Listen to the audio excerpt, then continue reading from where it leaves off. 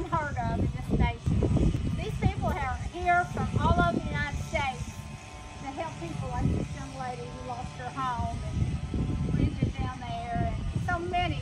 They're, they're here to, to make a difference, but it's all, it's all from the heart. You know, the founder of AARP said it's better to serve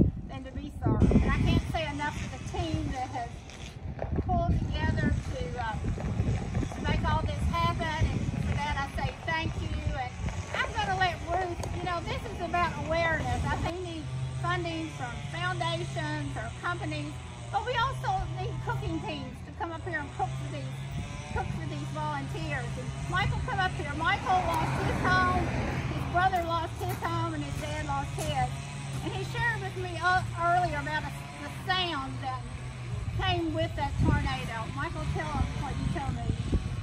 Uh, well, it was just, uh, it was definitely a deafening sound, and uh, it just really felt very uh, destructive. And I've never felt anything powerful and destructive. Just do something appreciate all the help that we've got. So many good people being healthy. So thankful for that. God bless you.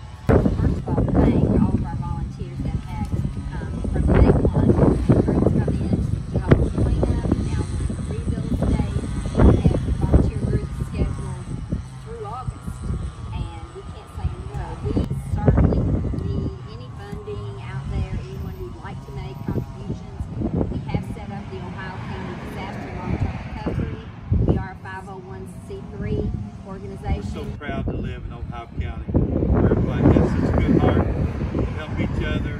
Uh, I'm just very proud of it, of our community. good people made it through without any challenges here. We have a great community that came together here to help everybody. I'm very proud to live here and be part of this community. Uh, people in Washington with AARP heard our cries.